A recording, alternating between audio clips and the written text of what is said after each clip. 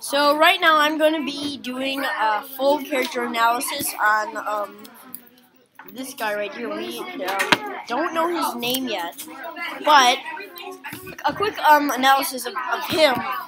He's a pretty funny guy. Um, he's he's been making jokes up in his notebook. He's been writing them down a ton. Keeps doing it and do it and do it. And a, a character trait of him is that he can think of like things like really fast. He's able to like say, "Oh, I can jot this down really fast. I can jot this down really fast. I can jot," and it comes to his head immediately.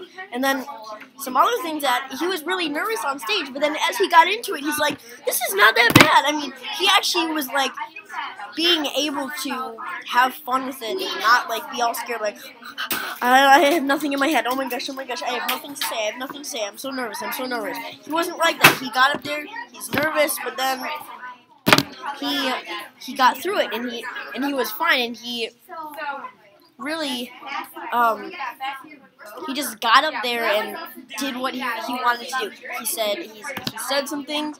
He he's like, wow, this is this is not as um not as much as I thought it would be.